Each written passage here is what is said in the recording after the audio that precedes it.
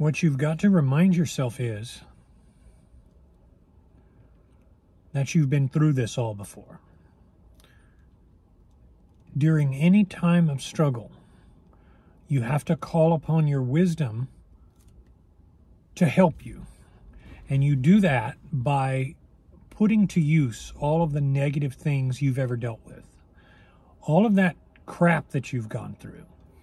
Uh, failed diets, uh, body obsessions, exercise routines, failed exercise equipment that never did anything except make you sore and frustrated.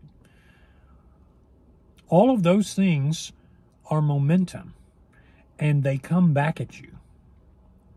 They come back at you and push you forward if you know how to adjust the sails to do so. So when you get in a spot where you start to realize that you're struggling, like really struggling, you're you're not seeing weight loss, you're getting frustrated, you're dealing with other physical and life issues, whatever they are. Call this to mind. Call to mind the fact that you're you're not stuck. All of that momentum of failure behind you is is pushing. It's going to keep pushing you forward. For every failed sale a salesman makes, the odds increase that they're going to finally sell and thus succeed. So that's what you need to remember.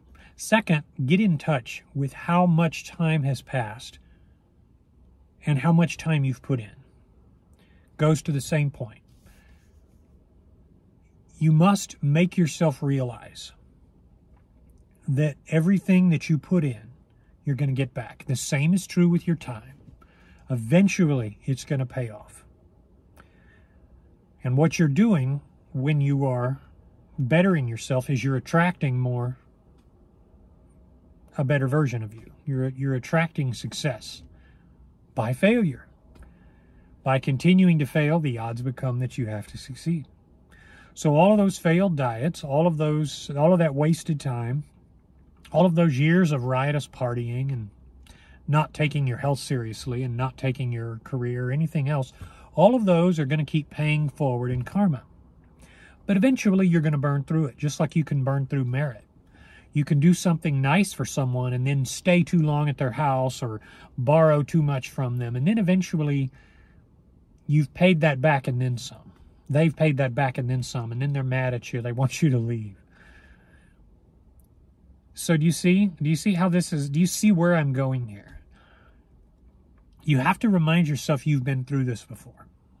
If only you have the wisdom to look back, you can look ahead. So that's where your head should be in terms of what you want to do, where you want to go.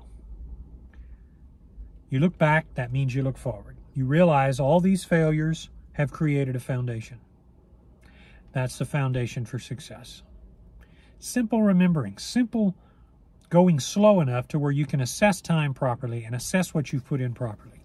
From there, you have the means to succeed. That's it for today.